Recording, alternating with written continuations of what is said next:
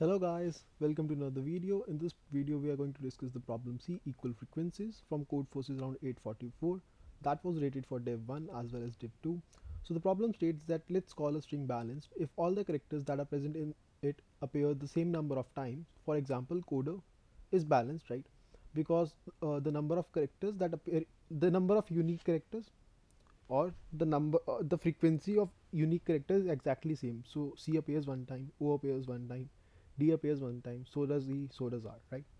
However in case of this particular string it's unbalanced because w occurs one two three four times and o occurs only two times. So this is unbalanced. Code force is also unbalanced because o occurs two times and f occurs one time so on. So we are given a string s of length n consisting of lowercase english letters. Find a balanced string, string t of the same length n consisting of lowercase English letters that is different from the string s in a few in few positions as possible. So even if the string s is uh, balanced, we can return it as well. Okay. So in other words, the number of indices i such that si is not equal to uh, ti should be as small. So finally, what we have to return is that we have to return a string that is balanced and also return the uh, number of indices in at which it is different from the original string. So yeah, that's it for the question. Uh, this is not a hard question, but it's an implementation based question. Even I tried it uh, during the contest. The uh, like the issue I was getting was e either a runtime error or when I was uh, like making some changes onto that, I was getting a time time limit exceeded. The problem was I was not uh, like using a certain conditional. So in this video, I'm going to talk in detail about everything you need to know for this problem and how to code it up. So let's get started. So they'll be giving us a string. Let me change the color. Cool. So they are giving us a string, right? So this string would have many, many characters. Let's say the string is something they have already told us. So the string over here was hello, right? So let's talk about hello only. So H E double L O. So now we firstly we'll notice the number of uh, number of or the frequency of each character. So over here frequency of L is 2, E is 1, O is 1, H is also 1, right. Now what we can do is that we know that if we want to minimize the number of changes, then then uh, the string that is or the uh, character that is occurring most number of times, we want to minimize the changes onto that. For example, if I want to remove L altogether from the from the string, then I have to change two occurrences, right? Because L is occurring two number of times. However, if I want to remove E from the string, I will only have to change one, one occurrences. So I can uh, try it with a greedy approach that I'll firstly sort the string based on the occurrences of characters, right? So that that is one thing I can do. So the first uh, first intuition is pretty clear. Now what's the second intuition? The second intuition is that each number of characters would appear a unique number of times. Uh, so each unique character would appear the same number of times, right? And how many unique characters can be there in the English alphabet or the lower alphabets? They can be 26 characters in total, right?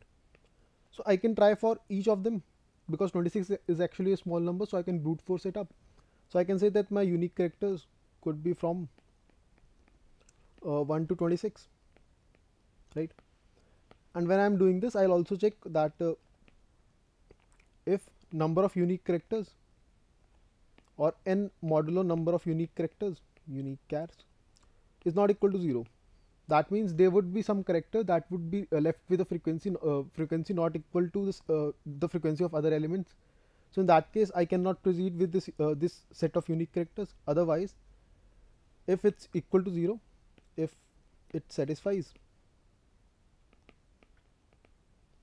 then what i can do then in that case I would say that I would arrange the characters or I would arrange the unique characters. So over here, if I talk about the unique characters, then the unique characters I am having are these, right? Now let, let, let me arrange them by frequency count. So I'll arrange them as L because L was happening uh, two number of times. So it's, a, it's in descending order. Then I can arrange any of them. So I can say EOH. The the uh, the arrangement for the uh, characters with same frequency won't matter so EOH would be same as OEH or HEO anything right cool enough so after that we'll say that uh, since we need so over here let's call this unique characters as U cars or UCHR whatever you want to call it. So we'll say that uh, since we wanted only uchars number of unique characters let's say uchars is this right? Over here we are having l right? So we'll say that we only want two characters in total right? However over here we are having two extra characters. So with these two characters we'll have to make their frequencies equal to 0 right? And for these two characters I'll have to make them frequency equal to per length. I'm just giving an example. Uh, unique characters equal to 2 won't actually uh, won't be actually valid for this. For this example unique characters equal to 1 would only be valid. Cool. So let's proceed ahead. So then what I can say? So I'll be doing this particular thing or this particular check for all all the possible possibilities of unique characters from 1 to 26 at the end I'll uh, and at the end I also would be saving the differences. So let's just try to take an example for this so that it makes more sense. And let's try to take this particular example and take uh, unique characters as 1 so if my unique characters is 1 right and the number of characters I was having from hello was um, L firstly right then OEH let's say after that I can append all the English characters their frequency is actually 0 so I can say A B C anything right? Up to so on to Z. Cool. Now I'll say that the number of unique characters I actually want is 1 right? Or unique characters actually want is 5 so I want uh, in total 5 unique characters. So I want 5 unique characters. So this is the first 5 characters. I'll take these now what should be the frequencies of all the unique characters? Now the frequency of all unique characters should be n divided by unique characters right? So that is equal to n is 5 over here. Hello has 5 words. That is equal to 1 now I'll say I have I need to have one frequency of all these unique characters. Cool. But what is the current frequency of all of these characters? For L O E H A. So the current frequency is 2 1 1 1 and a 0 I hope that's making sense. So then I'll say if I want to convert it into such a string that their frequency of all these elements is uh, is 1 then what I'll have to do? So in that case I'll have to change this and I'll have to change this right? So I'll say okay the difference is actually 2 although when we'll return the answer we'll divide it by 2 because we can actually swap them up so when we swap them up uh, it would automatically get divided by 2 so for now I'll say okay so the difference for this is 2 and this is one possibility. And the number of unique pairs in it is 5 and uh, the per length or the frequency per character is 5 divided by 5 that is equal to 1 so this is one of my possibilities now similarly I'll check for unique characters equal to 10 unique characters equal to 1 and all that stuff. And uh, and I'll be calculating the difference the unique characters of frequency per length in all of that uh, in all of that too right? Now whichever unique uh, unique character value has the lowest value of differences I'll be considering that. So now once I have that so I'll be having some information. So in this example I was having the information that my difference is 2 right and the unique characters I need is 5 also the frequency per character.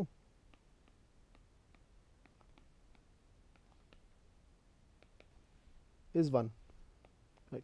So what do I do now? So I already have this string that I created earlier which had sorted frequencies.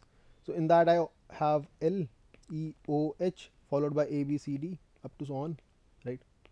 So all of these I have actually a frequency of 0 it has a frequency 1 1 1 0 and this has 2 so I'll take two pointers.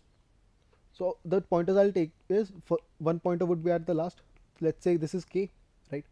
One pointer would just to uh, just be at the first element for which I need, need to increase the frequency. And the last uh, other pointer would be at the zeroth element because I know that this uh, string, the string I had created earlier was already sorted based on the frequencies. Hence, I know that the frequency for the ith element need to needs to be decreased. If there needs to be any changes, then definitely I am going to decrease the frequency of ith character. For the jth character, if there needs to be any changes, I'll have to increase its frequency, right? What about the kth character? So since we are not even considering this string in total hence if any of these alphabets have any uh, any frequencies we'll have to decrease it and make it 0 right? So I'll start traversing k from here. I'll check that if uh, there's a frequency or th is the, if there's any element that has a non-zero frequency then I'll have to make convert that element to whatever is po being pointed by j. Because if I do that so let's say I'm having a z over here right? Now what do I want? Now I'll check if z is present in my string. I'll say it's not present then it'll come to y it's not present it's not present. So in this case nothing nothing would be present right? So it would quit. Now I'll come to i and j. I'll say the frequency at ith character is 2 right? So frequency at ith character is 2 the frequency at jth character is 0 right?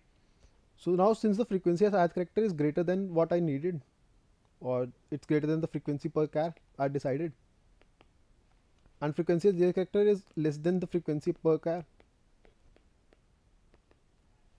so I can say that just go and replace one of the occurrences of L right with J uh, with the character at J. So I'll replace one of the occurrences of L with A. So now my string would become L O L A O right? So even this would work. Even if we change the other occurrence of L even that would have worked because we don't need to uh, tell them the mm, smallest lexicographically possible string we just need to tell them one of the possibilities which has the minimum uh, difference right? So even this would work. Yeah that's it. So we'll uh, in each loop we'll increment i to its right. We'll decrement j to its left. As soon as a, i and j become equal that means all of the uh, strings from uh, from i to j or from the location 0 till the number of unique characters has been made valid and will return the answer. So enough of a theory I guess. Let's uh, start with the question or let's look at the code. So where's the code? Yeah. Okay. So over here firstly I'm taking the frequencies and the locations. So now the locations would is required because at the end that uh, I told you that I'll be changing any occurrences of a character to, uh, to the other character right? So in order to do that I need the locations. So I'm taking two unordered maps. One is for the frequency one is for the locations. I'm initializing them then I'm taking a temp now what's the temp now temp is actually the string that I'll be using in order to uh, know that which uh, like which string should be at the ith location, which string, uh, which character should be at the jth location, which uh, character should be at the kth location, and I'll be sorting them up. So for those who don't know how to sort this, uh, basic, uh, whenever you use a, sort, a sort operation, you have a possibility of adding a comparator of your own. Over here, I'm using a anonymous function. So I'm just saying that A and B should be sorted. The character A and B should be sorted in such a fashion that uh, whosoever has a greater frequency should come first. So in our case when we were talking of hello so L had a greater frequency L was coming at the zeroth location. I hope that's clear. After that I'm setting three variables position, difference and per chars. Initially I'm giving them dummy values.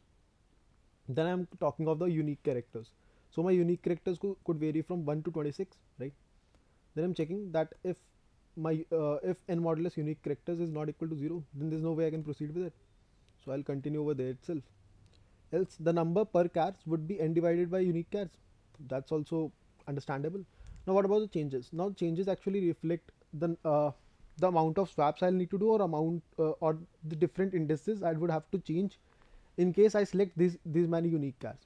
so what I know is that if I select these many unique chars, uh, I would like to unchange the characters that are present most number of times. So I'm using this operation on the temp, temp string because temp string already contains the characters in a way that the frequency of, uh, that the character with the highest frequency is coming first. So automatically greedily it makes sense for me to consider only those elements that has a greater frequency, right? So I'll be considering the characters from 0 to unique chars in my final answer. So I'll say that the changes for them would be so also these characters should be present uh, in, like number per chars times because this is the uh, this is the number or this is the frequency of each of those characters that should be available in my answer right? So i'll be subtracting them. When i'll subtract them i'll get uh, i'll get to know that how many uh, operation or how many swaps are needed for it right? What about the remaining characters that are to the right of unique chars so the remaining characters would actually need to have a frequency 0 so if they have any frequency I'll have to remove it so I'm just assigning changes i to the frequency of them. What were the to total changes now? So the total changes would be accumulation of all all the changes I need. So it's uh, I'm accumulating them. After that I'm checking that if my total changes over here is less than the uh, less than the diff. So diff is basically kind of a global variable. Over here it's out of the scope of uh, this function uh, this for loop actually. So this would contain the minimum possibility of differences I can have. So if that is true then I'll set my differences to total changes my position to unique chars and my per characters to number of per characters. Cool enough? After that when I'm out of the loop I'm checking that if difference was 0 so if difference is 0 that means uh, the string I originally had itself was balanced. So I can proceed with that. So in that case I'll just print 0 and I'll print the string, string and return. Even if you don't do that it's still fine. It's, it was just a simple thing to do over here. So I did this. Cool. After that I'm taking a result variable. Initially I'm setting it to s only. Then I'm taking three pointers i, j and k as discussed. So i is at 0 j is at position minus 1 right and k is at 25 so 25 is basically the last character. Then I'm checking till while k is greater than equal to pos so k is greater than equal to pos means that uh, I'm standing at the last character and then I'll be traversing uh, I'll be I'll be like decremented decrementing k till the time it reaches pos because up till pos I don't want any character to be there in my final answer. So if its frequency is non-zero in that case what I can do? In that case what I'll be doing is I'll try to get the index of the occurrence of this particular uh, character right? I'll change it uh, change its value from whatever whatever it had earlier to the value of j. Cool? After that I'll do what's necessary that I'll uh, decrement the frequency of k because I have changed it to j and I'll also have to in increment the frequency of j suppose that I'm okay so if the frequency of uh, k has already become uh, like is already 0 right in that case I can decrement k. And if the frequency of uh, j is now equal to per character then this is fine. I can decrement it as well. That's what I'm doing over here. After that I'll be left with uh, ing itself. So the entire thing that was uh, entire array of characters that was being pointed by k is now having a frequency of 0 so we are fine with that. We are just left with ing we'll perform uh, we'll perform the same operation over there. Firstly we'll check that if the frequency of the character being pointed by i is equal to per character then it's fine. I have to move forward. Also if the frequency of uh, temp j is equal to per character then that's also fine. I'll move backwards. Else what i'll do is that i definitely know that the element to the left has a greater frequency and the element to the right has a lower frequency than required. In that case what i would need to do is that i'll have to take an element from i itself right? And I'll have to assign it to j. So let's say I was pointing to a and j was pointing to uh, k uh, j was pointing to some b. Then I have to make some occurrences of a equal to b. Or in our cases we were having hello right? So over here L was uh, like I was pointing to L. And if you remember J was pointing to A. Then in that case what we did is we made some occurrences of L equal to A. That's exactly what I'm doing over here like I'm decrementing the frequency I'm uh, assi assigning it the value and stuff. Post that I'm uh, I'm returning the answer. That is diff divided by 2 now why I'm dividing it by 2 the simple reason is because we are swapping it. So in a single swap two operations get performed. So if so I said that I wanted to increase the value of uh, in this case I wanted to increase increase the occurrence or decrease the occurrence of L by 1 I also wanted to increase the occurrence of A by 1 right so there were actually two operations, but they can uh, both be performed in a single swap. Hence, we need to divide it by 2 and then we'll be returning the final result uh, string. So yeah, that's it for the video. Uh, this was a implementation question, so it tends to get boring at times. Mm, yeah, that, that, that, that's it. So if you still have any doubts, let me know in the comment section below or you could join my Discord server and we can have a chat over it. Thanks a lot guys. Keep coding. Stay happy. Bye-bye.